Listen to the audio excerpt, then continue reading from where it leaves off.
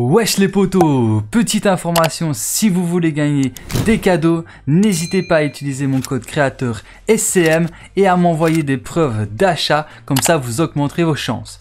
Et sur ce, je vous souhaite à tous une bonne vidéo, let's go Wesh les potos, bienvenue sur ma chaîne YouTube, c'est Sorkulo Mike et dans cette vidéo, je vais vous aider à réaliser le défi qui est de faire sauter des trous de pêche sur l'île de Lazy Lake, au lac de Canoë et près de Steamy Stack. Alors pour réaliser ce défi, vous serez obligé de faire sauter un trou de pêche dans chaque emplacement cité dans le défi.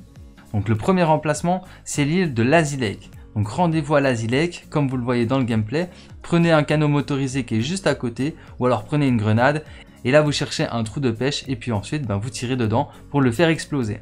Alors quand vous avez terminé le premier emplacement, rendez-vous au lac des canaux que je vous montre dans le gameplay. Là pareil, prenez un canot motorisé ou une grenade et faites sauter un trou de pêche.